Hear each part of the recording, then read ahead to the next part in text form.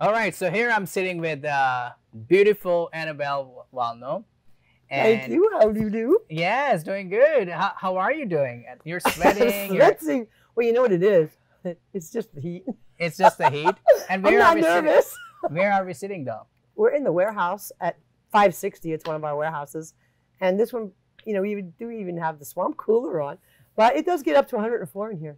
Wow. And uh, A sweatshop. sweatshop, yes, absolutely. And you know, uh, it's it's like Houston. I'm feeling here, right? Humidity, and you know, you're getting um, uh, a lot of uh, sweat. You know, because that's what happened in uh, Houston. You get a lot of sweats. So tell me about uh, your passion. And we are sitting here at the uh, Furnishing Families of Texas Yes. Warehouse. Yes, and we're actually at, this is pretty much the um, headquarters because in the back room we have this little tiny area that's air conditioned and heated, Yes. but the rest of it isn't. So this is all the housewares in this particular 2,500 square feet, Wow. and we have another 3,500 square feet over there and three 1,000 square feet up there. So everything's divided up. This is housewares and linens and di- toys, you know, and um, over there we have all the furniture mainly and beds up there and yes. fix it shop up there. Yes. So, you know, it's all spread out so it's organized. Wonderful. And uh, there's a family, like I, I get to meet a couple of families who are helping, you know, uh, Tylin and what was the other? oh Nancy. So Tylin was our first family actually, Yes. and she actually is um, very talented, and so she's she cleans all the warehouses, and she also cleans Lan- my husband Lance's studio, but she's also involved with the kids' church, and she loves the kids. Did you notice while we were talking, she was organizing them and getting paints out and all this? Yes. I mean, it was a lot of information going on here, and she's not even flinching. Yeah. she's in her element. On Sunday, she brings eight boys to church. Wow. And I was like, Tylin, you only have six seatbelts. she goes, everyone's got a seatbelt. I don't know. everyone has to have their own seatbelt. Yes. So she's really gregarious. And when she doesn't go to church, and because it's out- it's far for it's 45 minutes from her house, so yes. she has kids' church in her house. So she's asking me about that big whiteboard. So she's like, wants that for her house. Yes. That's fun, you know. It's Wow. just fun. Yes. And I really love your heart, uh, how you were talking to the kids and really like uh, loving on them, you know, Yeah, but we go way making back them now. feel special, Well, right? it's like three years now of friendship. Yes. Because even when I first met them, they just didn't have any furniture, yes. and they were already in a, an apartment. But I've already moved them three times in three years. wow. So very unstable. So right? why were you moving them? Like what evictions. and everything had to be thrown away. Okay. And the sad thing is, really, with the poverty levels of these places they live in, there's bed bugs. So if if your neighbors have bed bugs, you know, no matter what you do, they're going to try to come into your home. yeah. So we put anti-bed bug covers on the on the mattresses to save our investment, you know, to protect the family. But you know, I mean, we're teaching these families how to be cleaner. Yeah. and and Tylin goes in and he she cleans and teaches them and and I was we were ta- chatting before really the Bible talks about the older women teaching the younger women for a reason because if no one teaches you how are you supposed to know Yes. you just don't have instincts about certain things Yes. so And it's important, you know, learning and you know about the cleaning as well. So, what is uh, all that started? What what got you started helping people and you know loving on them and well we just had that water them. we had that water disaster at our house and then we gave away that bedroom set to Tylin I Yeah. asked the Center for Transforming Lives who needed a bedroom set and when they said that she had just moved in from a shelter yes. She did.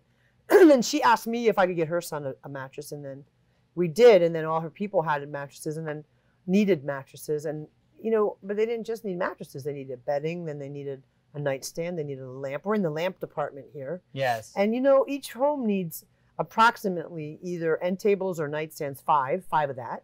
They need at least five to seven lamps. yes. We give them about 15 pieces of art. The art department's over there. And they need towels and sheets. They need dishes. They need silverware, glasses, cups. They need everything. So you'd be you'd be surprised how we take it for granted that we have hmm everything we need in our home.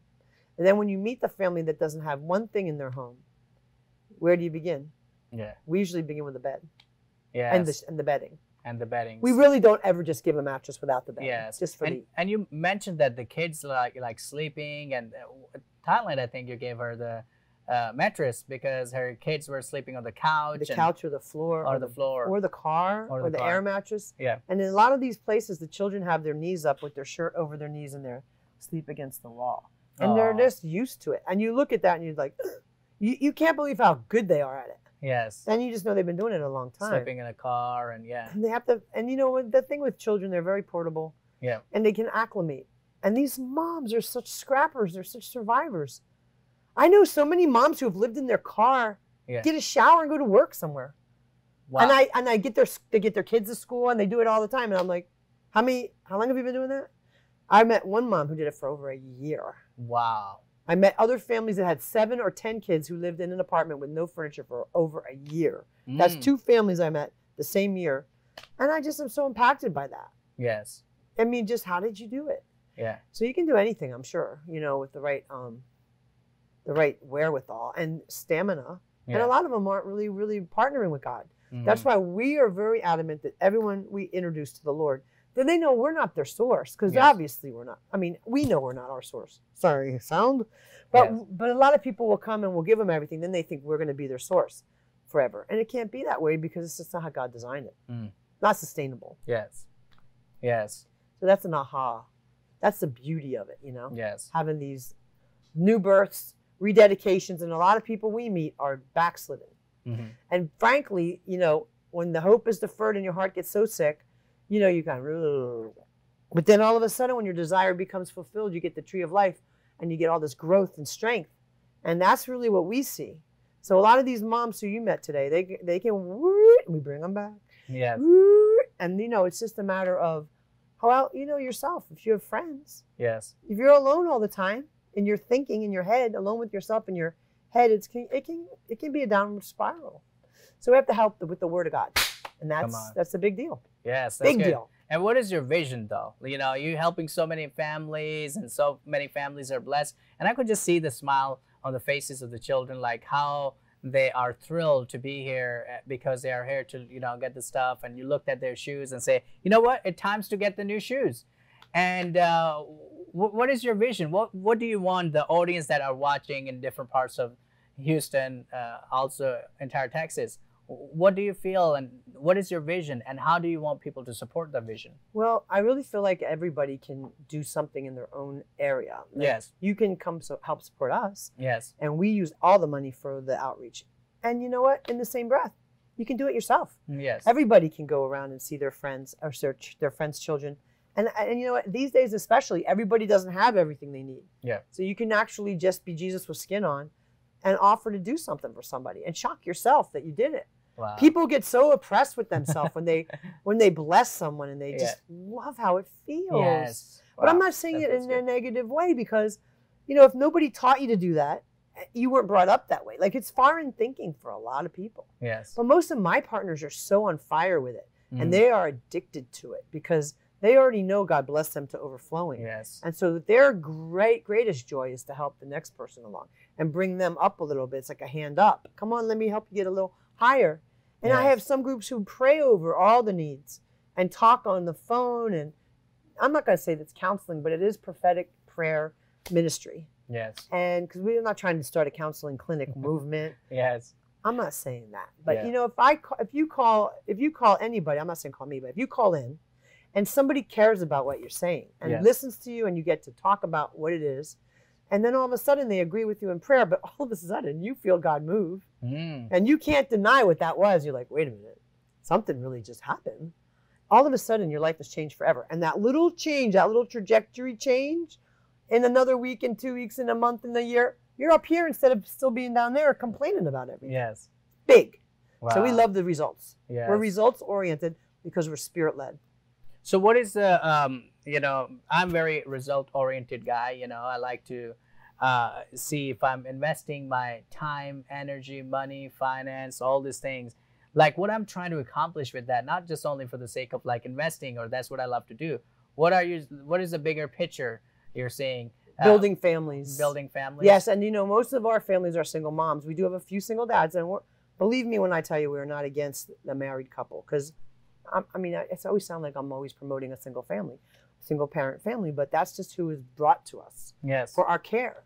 yeah. So we wouldn't be pushing them away. yes But the reason I'm saying that is that my goal is, and my goal isn't to get everyone married off. Don't get me wrong, but my goal is to get people established yes and strengthened. Mm. and go through that place where they can get roots that go down. Our society, if I have my plant right here, I would clip off the roots to show you. This is what society is doing.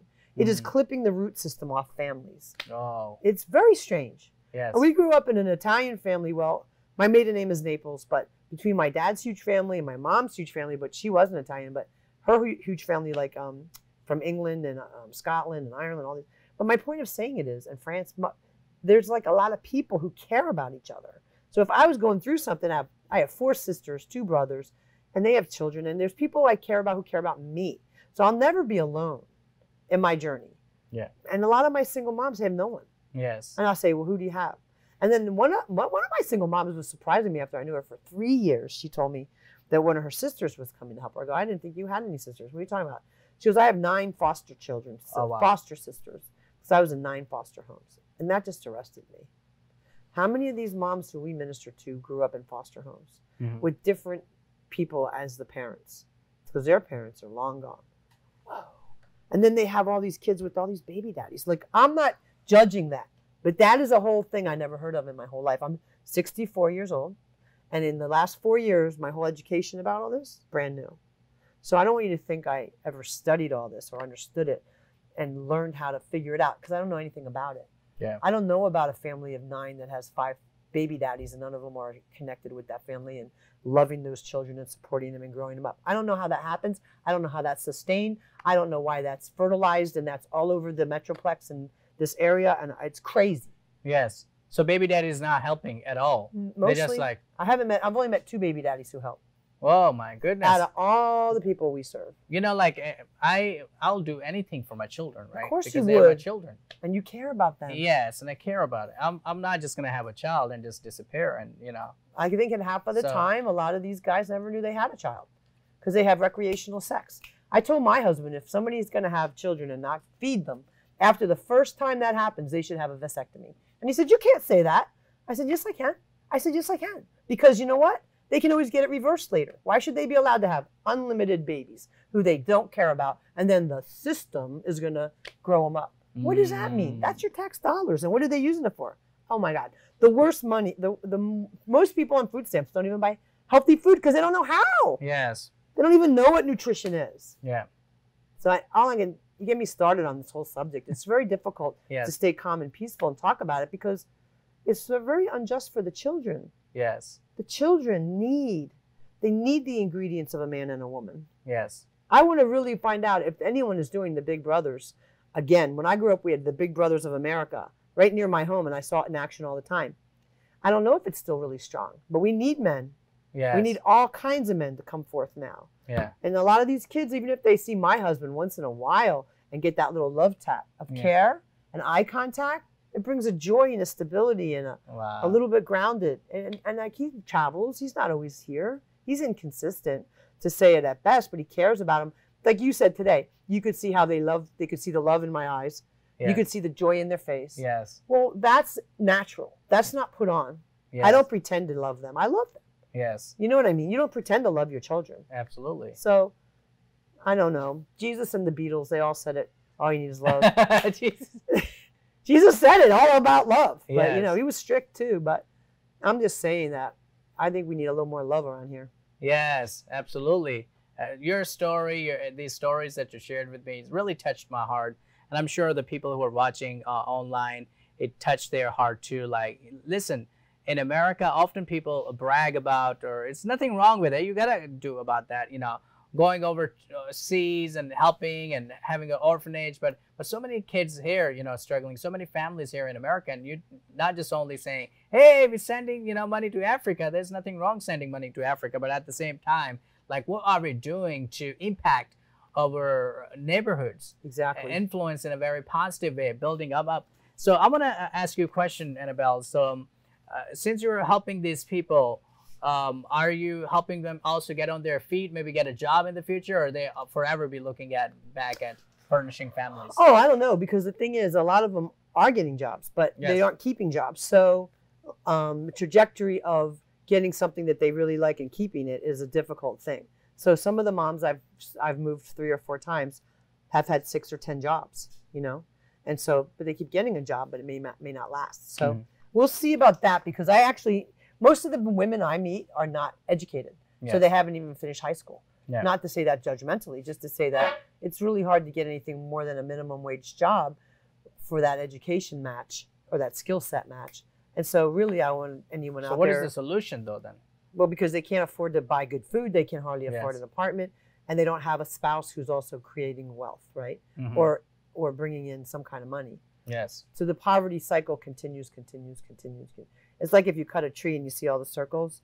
I find that that's a good illustration of what I'm looking at a lot of times. So a lot of the girls who I encourage, I just encourage them where I see their strength. Yes. I mean, one of my girlfriends, two of my girlfriends who I've met since the beginning, one of them became a videographer for me. I always encourage her. She's the most amazing voice. And she's doing voiceover work now. Wow. But she's the best video. I mean, Yeah. she's amazing. Yes. Her name's Selena. wow. And the thing about her is, like, not that she was a single mom because she's not even got any children, but to just call out a gift when you see it in somebody, you know, and call it out and say, hey, did you realize that you have that gift? I didn't. So then they actually, if they take in any kind of uh, encouragement from you, not that I'm her mentor in any way, but just because I'm her friend. yes. So, like the anointing of recognition, if I recognize something in you, Yes. call it out. So that's what I try to always do call out what I see in my girls.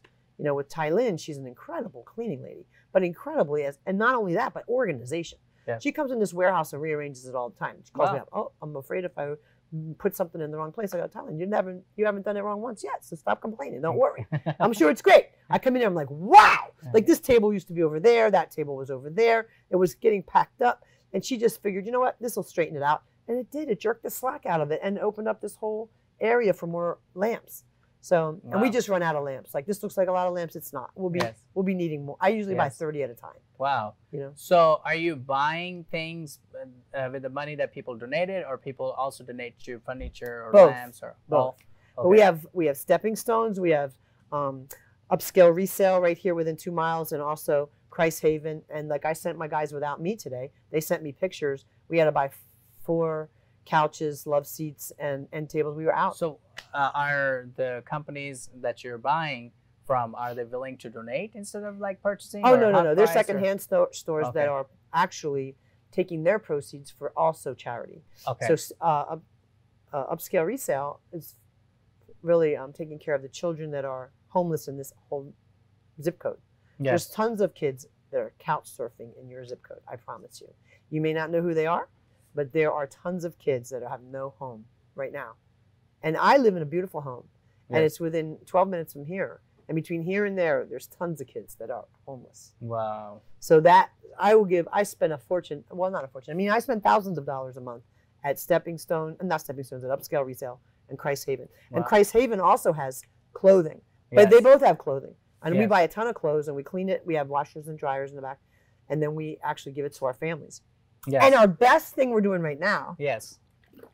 is this. It's like a field trip to this high school, and they're Yeah. letting us put in closets so that we can give families clothes for free. Yeah. So the students can come shop for free, and it's through the guidance counselor through the crisis center, and so that it's it's safe, it's private, has its own entrance, the door locks, and it's going to be phenomenal. So I'm Wow. trying to get all kinds of clothes for that, Yes. And it will be for the whole family because upstairs Yes. they have a much bigger space to put all the bins. Yes. How, how are you finding families though that are, are in need? Are you The guidance counselor through the guidance Okay. counselor through 20 schools. Okay. She's Misty Gann is the top guidance counselor over all the guidance counselors, and they know they know their families. They know who needs clothes. Yeah. So I'm I'm really excited. I could not tell you. Yeah. That is the one thing we're doing right now that makes my baby jump more than anything. is this clothes closet that we're putting in? It's crazy. Yes. Is there other organization try to compete with you here? Compete. yes. My husband goes, "What do you expect? Of course you're going to grow. You're giving everything away for free." Yes. Nobody's trying to compete. Everyone's blessing us, so they're all Okay. helping. Yes. I love it. I love their heart to help. Yes. That's wonderful. Uh, are you doing like a binder going into?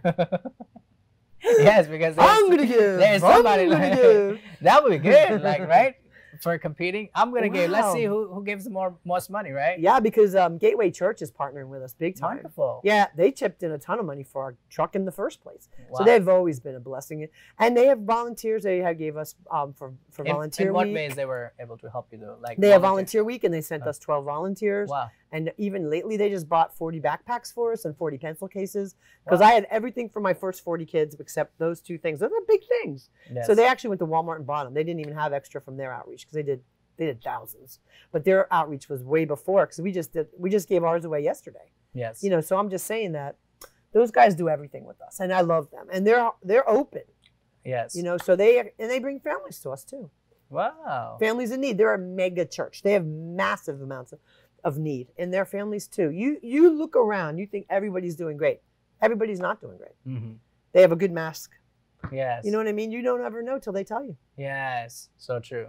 But the beauty of what we do is we care about everything. So whether or not we're going to lead you to the Lord and or pray for a miracle in your body or a financial need me bet or take you in the back and give you some food or bring you out here and find you something you need, we're just going to try to have your need help you get your needs met. Yes. We're not trying to do anything else. Yes. And it's very re- it's refreshing. So you mentioned Gateway Church. Is there any other churches that are, are uh, pitching in and Well, per se, as a it. church, those guys are local to us yes, and they're right nearby here. And those Yes. guys have been extremely generous to us. yes, above all the other churches. There's ministries. There's lots of different ministries Yeah. that help us out too. You know, Yeah. um, some of them don't want to be named publicly because they really want to be under the radar. yes, So, and you know, I respect that.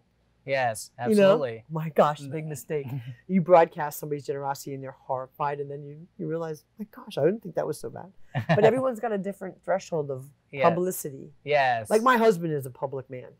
I'm private. As public as he is, I'm private. yes, So isn't that funny? yes, yes. But I'm an extrovert and he's an introvert, but everyone thinks he's an extrovert, but he's not. He's only an extrovert publicly. I mean, in his outreach. At home, he recharges reading quietly. He doesn't want to go to all my dinner parties. He's not socially alive like me. I get alive socially. I love social things. He's not, that's not his thing. yeah, He doesn't want me to invite him to everything. He's like, Do I have to go? No, you don't have to go to this one. But I'll tell him if he has to go, I was like, Please come to this one. yes. And you know, and- and- but you know what I mean. There's a different. Yeah. Everyone's got different recharge mechanism. yes, That's not saying that against him, but I'm just pointing out. yeah. So So you have this warehouse, and you were also pointing. You have another warehouse, and uh, what? that's a triple, and then Triple. there's three singles. Yeah. so what? this uh, is really considered a double, yes, but it has one door. But those have three big doors like that, yes, so you can just. Op- we call it 630, 631, 632. yes. So what are other items like? What, what are, are the items that you're distributing beside lamps, your chairs and tables? What is? Bureaus. We really have a hard time keeping bureaus and end tables in. Yes. Right now, we have one bureau, period. Yes. and it's not a good one. So we haven't given it away yet. And we have, you know, right now there's a um, there's probably 15 people in the queue. This week we have four people out of work, which we don't have a very big staff. So having four out of work has slowed us down a little bit Yeah. because we can't we aren't trying to uh, keep up with our normal. It's too much. Yes. But I mean, and plus it was 108 degrees last week every day. Oh my gosh. Yes. crazy. But we still are out. The guys are out now. They've been out all day. So how many people are working, and are you paying their full salary? Yeah. Well, my guys who are working, they, my movers make 22 bucks an hour. Okay. and they work really, really hard. They're amazing. They're, you would look at some of them and think, wow, how much could you possibly move? Jacob looks like a very slender young man. He is uh, like an ant who can carry 10 times his body weight. The Whoa. kid is so strong. Wow. When you watch him, you're like, oh, how is that possible? you know? Yes. And it's incredible. And Andrew had been our driver for a year, and then he went and was working with Todd White's school, going to the School of Supernatural. So he took a year off. And then Keith is our driver who just had a hernia repair. Mhm. So he's recovering. He's coming back Monday. My son got COVID for the third time. Oh gosh. Like, who even thought that was possible? Yes. And then Julie had like a strep throat that went into pneumonia. Then then she had a knee a knee operation. So I mean, who would see all that coming? Yes. No. So it's a it's just a hard thing on Yes. the team. yes. But everyone's going to be stronger when they get back. yeah. So how many volunteer are you using? A lot of people are sending. We did. We had like 20. We actually had 20 volunteers, and now right now because of the summer and because of travel and all different things, I would say that our volunteer staff is like five. Yes. and it will go back up again, I'm sure. And there's three new people that would love to be volunteers. Two of my volunteers became paid staff because um, with this, what happened within the last year of them needing to make money because their investments used to pay so much a month, and now those investments shifted, and they need to create that wealth. So, especially Paula, I had to keep Paula because there's no way I could lose her. yes. She was she's spinning circles around all of us, and she's the one who set up the, all the clothes at the school Wow. and um, she's amazing. And plus, she was trained with the Harfouches, who are very dear to my heart, Robin and Christian Harfouche. We Lance and I, we love them, and um, they were they were ministry gifts from Florida, and we were pastors we were pastors 20 years in Rhode Island. Yeah. So they used to come and minister at our church, and they just taught us so much. Hey, here comes my guys. Yes. Uh huh. Slithering by, I see. but anyway, um, so it's just amazing to have like-minded faith, people linking their shields, locking their shields as one, and coming together for God, and really all carrying with the same values and morals. Like that's what makes us so amazing. We pray every morning, talk about whatever it is. We lay hands on stuff. We agree for our partners, agree for each other. It's a beautiful, beautiful Wonderful. partnership. So, uh, how can uh, people, you know, contribute? What are you doing? Is there a website, or Hmm. is it people can follow you on social media, or, or Yes. furnishing Yes. families of Texas? Yes, see now it's a mouthful. So furnishingfamiliesoftexas.com is our website, but we also bought the we were able to get the FFOTex.com Yes. because it's a mouthful, right? I was even misspelling it when I was emailing. So you can you can write to me at Annabelle at FFOTex.com or Annabelle at furnishingfamiliesoftexas.com. Yes. But FFOTex might be easier. Yes. And there's places to give online yes. and it all goes into the full blown mission of everything that's happening. And so Lance Jr. is involved with all our social media with Facebook and Yes. Instagram and and it's good because he's showing little videos about what we're doing and yes. it's just the kids they Yes. when they get so happy they start dancing and it's just fun to see you know yes. put a little child in front of a mirror and they start doing all this fun stuff know, Wow. they light up Yes, that's wonderful. So you have your whole family, you know. uh, yeah because our son Carl works full time with my son my husband Lance my son Lance works full time with me and Joy Joy she's she's you know hovering around she's been away for five years and now she's she actually lives at home right now for a short time and she's working um, at Tuvu so Tuvu is another new social media company Tuvu. yeah Never heard about Tuvu. Tuvu T-U-V-U Tuvu yeah I'll introduce you you know, all these social medias are popping up, right? So that one has no commercials yes, So anyway, I don't know. I they, they have a lot of great people on there, and all I'm saying is about you know sharing. It's all about sharing. wonderful. Well, it was very nice. Although we're gonna head to the studio and record another uh, actual segment, but uh, it's really good to like sit here and uh, and just get to know the warehouse and what what you're doing here, and uh, and um, t- you know we're gonna show all the warehouse as we're talking through. You know.